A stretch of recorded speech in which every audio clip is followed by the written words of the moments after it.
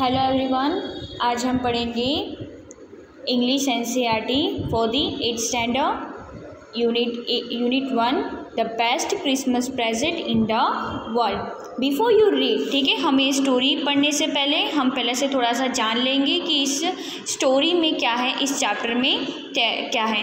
There are some dates और periods of time in the history of the world that are so significance that every one knows and remembers them the story you will read mentions one such date and event a war between the British and the Germans in 1940 can you guess which was it was?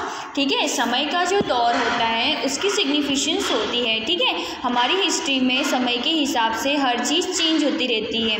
और किस तरह से history में बताया जाता है? वक्त के हिसाब से बदलाव आना मतलब कि जर्मन की जो वर्ल्ड वॉर जब हुआ था, वो हुआ था 1940 में 1914 में। और ये जो पूरी इवेंट है मतलब कि जो आर्मी लोग हैं ब्रिटिश या जो लोग हैं। और क्रिसमस के दिन क्या हुआ था? इस स्टोरी में बताया गया है। तो आइए हम ये स्टोरी पढ़ते हैं, जो मैं आपको आज हिंदी में बताऊँगी कि इस कहानी में क्या बताया गया है। जो कि यहाँ का जो ऑथर था, उस ऑथर को हम लेखक कहते ठीक है, एक बार ये कबाड़ी की दुकान पर गए थे, ब्रिट ब्रिड पोर्ट के स्थित मतलब कि उस जगह पर ये चीज़ ब्रिड पोर्ट के वहाँ पर आई हुई है, ये कबाड़ी का शॉप मतलब कि जो दुकान होती है ना, जहाँ पर सिर्फ़ जूनी जंक वाली, जंक शॉप जिसे कहते हैं हम, वहाँ पर सिर्फ़ पुरानी चीज़ें मिलती हैं, उस तरह की एक शॉप थी। वहाँ उन्होंने एक मेज़ देखी। मेज़ मीन्स होता है एक तरह का ड्रॉवर समथिंग जैसा, ठीक है, जिसका ऊपरी हिस्सा खिसक जाता था। मतलब कि जो ऊपर के जो हिस्सा होता था, वो हमेशा खिसक जाता था। वह पुरानी मेज़ मतलब कि वो बहुत पुराना ड्रॉवर था, जो जो जो ओक की लड़की की बनी हुई थी। ओक ओक जो होता है, ओक ट्री होती है, उस ट्री की ये चीज़ बनी हुई थी। इस मेज़ में एक हिस्से में जलने का दाग था। मतलब कि इस जो मेज़ होती है, मीन्स की जो ड्रावर था, उसके एक साइड में जला हुआ एक छोटा सा दाग लगा हुआ था। उस मेज़ की स्थिति ज़्यादा अच्छी नहीं थी। मतलब कि जो मेज़ थी, वो बहुत ज़्यादा अच्छी नहीं थी। मतलब कि अब जैसे पुरानी जंक शॉप होती है तो जंक शॉप में चीज़ें कैसे मिलती हैं? पुरानी मतलब टूटा फूटा हुआ होता है या फिर कुछ जंक लगा हुआ होता है तो इस तरह का उसमें था। ठीक है जिसने भी ये खरीदारी की थी, काफ़ी सस्ती दिखाई पड़ती थी। ऐसी तो बहुत सस्ती थी। इसलिए फिर जो ऑथर होता है, वो कहते, इसे खरीद लेता है, ठीक है, और उसे अच्छे से करने के लिए विचार कर लेता है मीन्स सोच लेता है। लेखक मीन्स की जो ऑथर होता है उस मेज को मरम्मत का कार्य क्रिसमस के दिन पहले को शुरू कर दिया जाता है। मतलब कि क्रिसमस, जो क्रिसमस ईव आती है, ठीक है, उसके पहले इसे ठीक करने के लिए सोचने को लग जाता है। फिर ऑथर उस मेज के, जिसको खिसाया खिसाया जाया करता था, उसे हटाया व उसकी दराज को बाहर निकालने का प्रयत्न किया।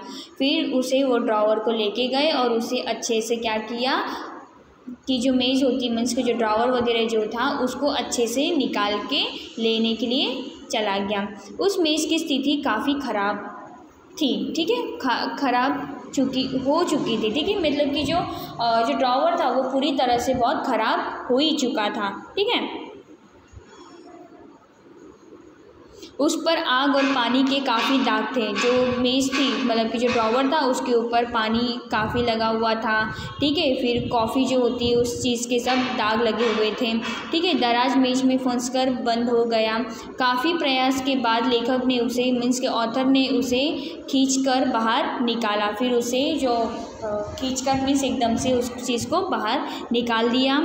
तभी ऑथर ने उसको एक गुप्त निकाला। उस डिब्बे पर लिखा था जीन का अंतिम पत्र, जिसे 25 जनवरी 1915 को लिखा गया था। उसमें एक लेटर था, ठीक है, जो जनवरी 25 1915 के दिन लिखा हुआ था, ओके।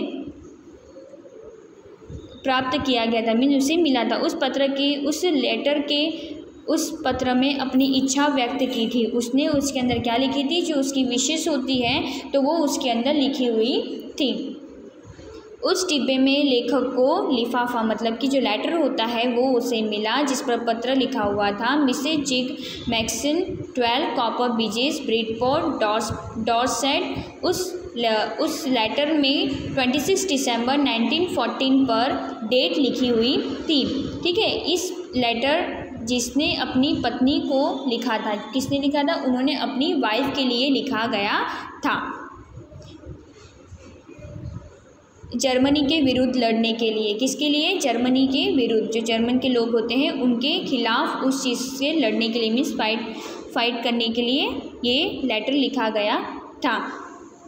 जिम बहुत खूब, खुश था, क्योंकि वो बहुत ज़्यादा खुश था। वह एक हैरान कर देने वाली घटना घटी थी। सैनिक ने मतलब कि जो सोल्जर्स होते हैं, ठीक है, खाइए अपने छिपने का स्थान बना रखा था। वह किस्मत की ठंडी सुबह थी। मीन्स की जो सुबह उनकी कैसी थी, बहुत अच्छी थी मतलब बहुत ही शांत वाली थी। ठीक है, जिम ने देखा कि जर्मन सैनिक बात झंडा लहराकर अंग्रेज़ सिपाहियों को क्रिसमस की शुभकामनाएँ शुभकामनाएँ बताई गई थी। शुभकामनाएँ उस चीज़ के अंदर बताई गई थी, ठीक है? फिर उसमें क्या बताया गया है कि सैनिक ने खाइयों में अपनी छिपने का स्थान बना रखा था। उन्होंने अपना स्थान मतलब कि जो प्लेस होती है, ठीक है?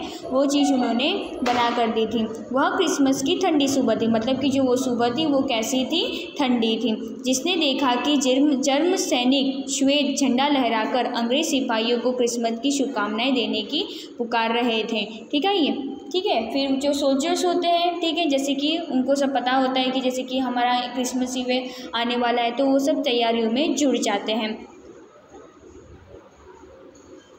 ये कोई साजिश नहीं थी। फिर उनको ऐसा लगता है कि ये कोई उन्होंने कुछ रखा नहीं था। मतलब कि साजिश का मतलब क्या होता है कि जैसे नहीं कुछ चीज़ बताते हैं कि ये चीज़ हमें नहीं करनी चाहिए, कि कुछ उन्होंने पहले से कुछ निर्णय कर लिया होगा कि नहीं, हमें ये चीज़ नहीं करनी है करके तो ये उनको पहले चीज़ पता चल जाती है। यह एक सत्य था। मतलब कि ये एक जो कहा गया था, वो एक सही, एक असल में सच्ची बात थी। ठीक है?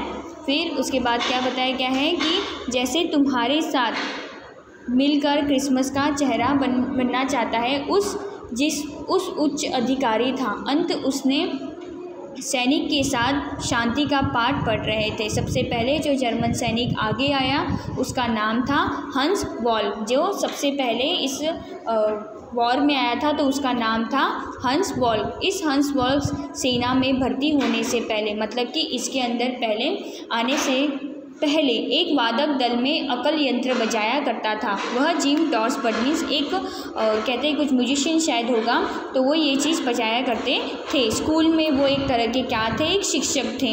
इस वर्ग ने झूठ बोला था कि वह डॉर्मट को जानता है जबकि उसने इस स्थान के बारे में हडी का उपन्यास means far from the madding crowd में पढ़ा था। ठीक है? ये ये चीज़ उन्होंने इस चीज़ में पढ़ी थी। ठीक है? उस शाम सभी विरोधी सैनिक मतलब कि जो सोल्जर्स होते हैं ने, एक साथ मिलकर धूम्रपान, मनोविनोद मध्यपान मीन्स की जो चीज़ें होती है, ठीक है? उस चीज़ का उन्होंने भोजन मीन्स के खाना खाया था। ये सब चीज़ें उन्होंने छोड़ दी थी मतलब ठीक है? विरोधी हो गए थे। मीन्स नहीं कहते कि ये चीज़ हमें नहीं करना है तो हमें उस चीज़ को बंद कर देना चाहिए। तो ये सब चीज़ के वो खिलाफ हो गए थे। फिर वो जिसने अपने पत्र में लिखा मीन्स अपने लेटर में लिखा था कि प्रकार की क्रिसमस पार्टी न कभी देखी थी और न कभी ऐसी पार्टी को कल्पना की थी। मतलब कि जैसे कि ये इस तरह की क्रिसमस पार्टी इसके अंदर बताया गया था, जहाँ उन्होंने कभी कभी देखी थी, ना कभी इस तरह से सुना था।